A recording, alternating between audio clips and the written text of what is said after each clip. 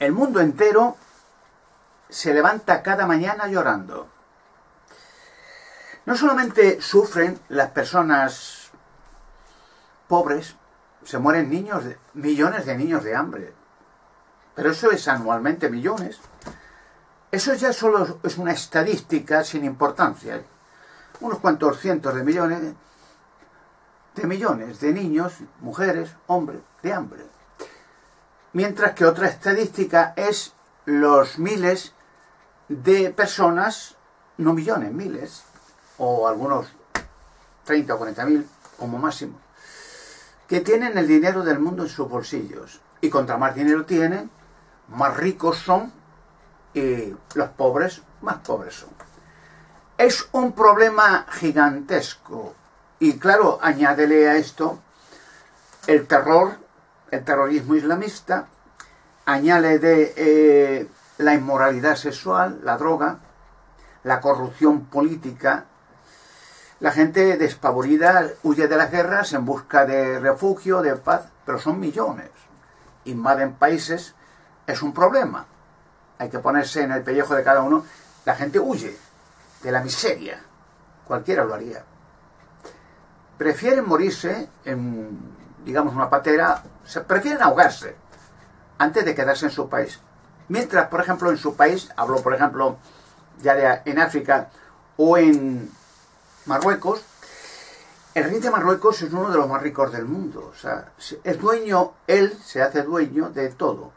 La tierra, dueño de la religión, dueño de, de, todo, todas las minas, es suyo, dice que es suyo. Es Tiene en una cuenta en París, una cuenta olvidada, además, sin importancia, 50 mil millones de dólares en una cuenta, ponen varias cuentas en Suiza y en pues cientos de miles de millones, tranquilamente. Hay, hay gente de los Rockefeller, Rothschild que tienen billones. Y la gente se muere de hambre. Pero claro, la gente que hace fortunas no las hace en un pico y una pala en una obra o en una fábrica, haciendo ocho horas de trabajo. Se hace robando y masacrando gente. Millones masacrando millones. Las guerras, claro. Las guerras que no falten, porque medio mundo vive de en torno a la guerra. No digo ya militares, eso es lo de menos. Son protección del país, ¿no? Seguridad de la nación, eso ya. Pero las guerras, las fabricantes de armamento, bueno, esos eh, tienen necesariamente que tener guerras pendientes. Porque si no hay guerras, pues se hunden los países. Tiene que haber guerras como sea, y da igual quién caiga, y da igual el frente que sea, comunista, socialista, anarquista o ateísta, da igual. Tiene que haber guerras. Y si no, mal asunto. Hay otro problema aún mayor que todo esto, y es el problema de que la gente en su mayoría ignora completamente, y además se ríen y todo, hay muchos idiotas que se ríen, que los extraterrestres han estado aquí controlando el mundo desde hace 6.000 años aproximadamente. O sea, han estado aquí y de aquí ya no van a salir. Aquí, en este planeta, han llegado hace 6.000 años invadiéndolo y destruyendo todo lo que han podido. Y aquí ellos van a ser destruidos. De aquí ya no salen con vida. O sea, no hay esperanza. Eso lo ignora mucha gente. Entonces, al ignorarlo, pues claro, siempre cuando se habla de extraterrestres, le enseña con las películas Hollywood una nave espacial con marcianitos verdes, con escafandras, con pistolas, con cañones. No, no. Ellos no necesitan eso. Por ejemplo, se hizo un experimento extraterrestre, porque todas las vacunas y todos los uh, virus mortales son de origen extraterrestre, de laboratorio. Al, al, terminar la Primera Guerra Mundial, en 1918 aproximadamente, pues apareció de la nada un virus, la influencia española, la gripe española. En unas semanas eliminó cientos de millones de personas en todo el planeta. Y tuvieron que venir del futuro para anular ese virus. Si no, desaparece la raza humana. ¿De dónde se cree que viene el virus del ébola, el SIDA, la lepra y, y miles enfermedades más? ¿Creen que Dios ha hecho los virus? que Dios ha hecho virus para que la gente sin darse cuenta toque lo que sea, se contamine y se muera? o lo han hecho los demonios, que son los que han invadido la tierra. Es muy difícil para la gente enseñarle el peligro verdadero, porque claro, los demonios actúan, tienen una base central. El área 51 de Nevada es ahora, en el tiempo actual, su base central. Pues luego hay otras bases más antiguas, extraterrestres, en todo el mundo. En Antártida también, en África, en Australia, en todo el mundo. Bases extraterrestres, en todo el mundo. Tras el diluvio, tuvieron que desalojar aquellas bases, irse a Marte, volvieron a la Tierra y ahora se establecieron en una base central, Área 51, desde la cual dirigen el mundo entero. Ellos formaron las religiones allí en el antiguo Babel, Babilonia, y se extendieron sus religiones formadas por ellos para eh, controlar, perdón, y extraviar y masacrar a la raza humana. Porque las religiones ha sido la fuente de atraso, de guerras, de horror, de robos, de asesinatos de niños, pedofilias de niños. O sea, ha sido la fuente de terror y miedo y, robos y atraso. Las religiones. Empezando por la católica. Claro, la católica, pues, eh, si tuviera que hacer un listado, solo nombres, no ya la historia cada uno, no, no, nombres de gente que han asesinado en las, la Santa Inquisición, quemados, torturados vivos, masacrados, bueno, hombres, mujeres y niños, millones. Las cruzadas, los templarios, eh, las fracciones religiosas pequeñas que han asesinado, los valdenses, los, bueno, los cátaros, bueno, millones, millones. Habría que un nombre de cada uno asesinado por la Iglesia Católica. Bueno, haría falta varios rollos de papel, de bate. Y escribir un nombre, un nombre, varios rollos. Y no acabaría nunca. Es normal que los extraterrestres la tengan como la religión del Estado extraterrestre. La mejor para ellos, la más manipuladora, la más rica. Obligando a la gente, naturalmente, a pagar a la fuerza los millones que pidan para enriquecer un regimiento de pedófilos y criminales. Porque las pedofilias de la Iglesia Católica, eso es abrumador. Eso ya es, vamos, es casi... La gente lo da por, por normal, ya casi normal. Bueno, niños violados por clérigo, cardenal, obispo y papa, bueno, e, eso es el pan de cada día. Eso no tiene ya ni... Es una vez más la estadística. Es una estadística. Mira, la Iglesia Católica en tal año pues ha violado tantos niños. Eso sale una fracción pequeña. Cuando se habla de las dictaduras, de Franco, de otros dictadores, de reyes en la Edad Media, bueno, era, era lo normal. Había una ley de la Iglesia Católica, la ley de la carnada, que se acostaban los clérigos en los pueblos eso, con la mujer antes de casarse. O sea, la mujer que fuera, ellos tenían la ley de la carnada y, a los niños los violaban cuando, bueno, en tiempo de Franco han desaparecido más de 300.000 niños violados, asesinados y cuando se abran y se abrirán los monasterios aparecerán más del 70 o el 80% de los niños desaparecidos en todo el mundo. Ahí están. Cada vez que se abre un monasterio aparecen cientos y cientos de niños esqueletos tirados en una fosa común. ¿Para qué se cree que los focos de pedófilos eso? ¿Para qué se hicieron monasterios? ¿Qué tiene que ver eso con Jesucristo? Con, un, culto oscuro y unos capuchones, sin hablar con nadie, sin salir. Pero ¿qué, tiene que ver esa monstruosidad con Jesucristo? ¿Cómo lo relacionan eso con Jesucristo, con los satánicos, todo? Hay una forma, he dicho mil veces, de desenmascarar a los extraterrestres, porque ellos manipulan reyes, religiones, eh, políticos corruptos, eh, eh, sociedades secretas, satanistas, illuminati, jesuitas, o sea, ellos manipulan y los mueven y tienen el dinero del mundo en su bolsillo, lo cual quiere decir que en la actualidad el mundo son esclavos de estas élites. Y, los demonios le dicen, Lucifer, vamos a hacer un, un gobierno mundial y entonces vamos a crear una crisis de tal manera que las naciones, y eso ya se ve claro, tengan necesariamente que unirse en un solo gobierno regido por las Naciones Unidas formaremos una religión única, ya está el templo en Jerusalén de los judíos, y allí que vayan todos los religiosos que quieran allí, a Jerusalén, al templo de los judíos. Y ya está. Y, cada año, cada X años, pues ponemos un sumo sacerdote sacerdotes de todas las religiones. Ahora el Papa este diciendo que todas las religiones son buenas, que cada uno que crea lo que quiere, tal cual, pero que todos paguen al catolicismo. Bueno, pues hay una forma idónea y verán que hay una presión gigantesca, porque ellos también controlan los medios de comunicación, para que la voz y la persona de Alberto Canosa nunca jamás se oiga. Ya se han amenazado muchas televisiones, lo he hablado muchas veces, pero organizaciones, hasta emisoras de radio, cuando me han querido ayudar, les han dado el aviso como a los toreros. Le han dicho, ya no más. Y si no preguntan a Salfate, buen amigo mío, pregúntele. Cuando dijo, vamos, vamos, eh, esto, vamos, hay que traer a Alberto Canosa aquí, lo dijo, está grabado en una de sus emisiones con su maravilloso equipo. Así somos. Decir aquello, ya le cogieron corriendo para echarle de la televisión. No, que, que, toma droga, que toma, para desacreditarle, para, para, para que le, le, arruinaran, lo encarcelaran, cerrar la cadena.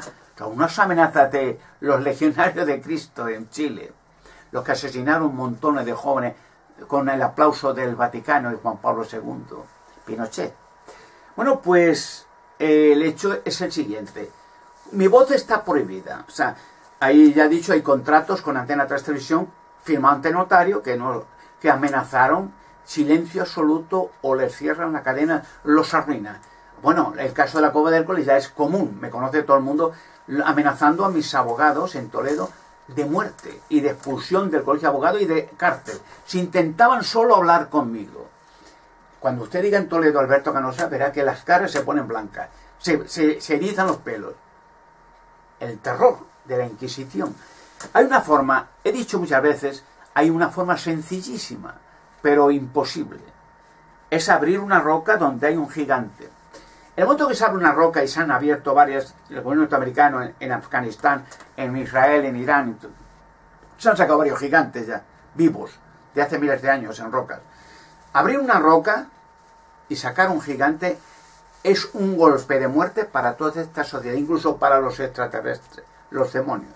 Porque se revela la existencia de los hijos de los demonios en los gigantes, porque todas las zonas arqueológicas donde están los gigantes son zonas, y se va dando cuenta la gente, donde siempre hay una ermita en el medio, una iglesia, una catedral o un monasterio, siempre que tiene que ver un lugar arqueológico, piedras antiguas de milenaria con, con la religión, son lugares de protección sagrado a los hijos de los demonios, las rocas, y siempre verán encima de la roca un crucero para que sea intocable la roca y la gente le rinda culto a la roca. Y van muchas oración y misa ante la roca. Y la gente como idiota, como mono, van allí haciendo y, nadie ha pensado, bueno, ¿por qué, hago yo aquí? Porque una roca, esta piedra, ¿para qué yo tengo que adorar una piedra? Y nadie se ha pensado, ¿por qué no miran lo que hay dentro? Un taladro, un metro, ya está. Imposible. Antes, bueno, destruyen España entera, pero literalmente o sea, destruyen el país y desaparece España. Se intentan abrir una roca y sacar un gigante. O sea, hay amenazas hasta de muerte en las cadenas de televisión. Pues digo, pero claro, es que luego viene el palo, es que yo no paro. Sigo la de la roca, pues mire, ya están los gigantes. Y ya digo, más rocas en aquel otro lugar, en el otro, en otro, en Israel, en tal, en, en Australia, en Norteamérica. Y ya empiezan a abrirse y sacan gigantes en todos sitios. Y empieza a desbaratarse el sistema religioso y, se demuestra la existencia del gobierno satánico en el año 51. Muchos oficiales del gobierno estadounidense lo han denunciado, con miedo, con terror, que los han visto los extraterrestres transformarse en varios cuerpos, se pueden transformar en varios cuerpos, cuerpos de personas, de animal, lo que quieran. Son energía inteligente que puede transformarse esos átomos en una persona o, o en lo que sea, los hombres de negro. bueno, pues se sacaría seguidamente el arca de la alianza y claro, eso ya es mortal para toda esta... Porque el arca de la alianza deshace todo un sistema mundial. O sea, lo deshace. Es la energía de Dios se va, y, va, y va a salir. Se extiende y, acaba con todos los perros de toda la tierra. Lo saben. Entonces las, las organizaciones vaticanos, satanistas, de otros, están pendientes de que Alberto González no hable nunca en televisión. Y aunque yo lo, y lo enseñaré, verá que habrá una presión constante de la UNESCO, que esa roca ni se toca. Ya lo dirán, ya lo están diciendo. Esas rocas son sagradas. Y lo van a decir, son los hijos de Lucifer, lo, dice ya el Vaticano, son los hijos de, del Dios de la tierra y tal, que esos intocables son, son divinos. Por eso la Iglesia Católica ha hecho la fiesta de gigante y cabezudo y ha hecho siempre rituales donde están esas rocas, iglesias y monasterios al lado para rendir culto sagrado. Y luego sacaré en la cueva de Hércules el robot que puede destruir el planeta, ojo con Toledo pronto, y que está la mesa de Salomón o cronovisor para que se vean todos los crímenes de esta gentuza, porque no son filmaciones de Hollywood, hecho un estudio de cine, no, no, son reales, son visiones del pasado con seres reales, como filmaciones hechas y del futuro. ¿Cómo terminará Babilonia la Grande? Quemada, completa, por la gente con ira y con odio. Y claro, hay un premio para España por todas estas cosas. Las, el nave de Salomón, la que trajo el arca a España, cargada de oro. Eso apalea el paro de toda España. Aparte de que, como dije, en la, en la parte económica, esos descubrimientos atraen al mundo entero España. Se acaba la crisis en España. Pero pregúntense con lógica, todos, que vean estos vídeos. ¿Pero de verdad creen? Ahora pregúnteselo con lógica, fríamente. ¿De verdad creen que el gobierno quiere acabar con la crisis o fomentarla? Un gobierno normal, justo diría, bueno, pues una idea es una idea, no hay nada que perder. Sea verdad o sea mentira, bueno, este señor dice, y con lógica, si es verdad, si hay gigantes, y lo saben que es verdad, claro, pero si es verdad, oye, no hay nada que perder. Un gigante, la prensa del mundo se vuelca a España. El mundo entero a España. Divisas, turismo, hoteles, carreteras. Ya están los aeropuertos preparados. Son aeropuertos fantasmas, ya están hechos. Porque se va a proceder ese. Esos documentos van a salir. Y la gente no se da cuenta que hay varios aeropuertos vírgenes, sin utilizar. Luego el arca de la alianza. Todo el mundo querrá ver el arca. El mundo entero en España. Y la nave Salomón, pues sencillamente, si hay crisis en España, ese oro sirve para crear industria, puestos de trabajo, seguridad ciudadana, una buena, buena policía, un buen ejército, todo moderno. El oro de los españoles, oro de España. Salomón venía cada tres años, 40 años, durante 40 años se llevaba oro de España, toneladas, toneladas. Se llenó Israel de oro, pero queda el mil por cien. O sea, rascó solo un poquito de lo que había en España. La pregunta de siempre, la pregunta del millón.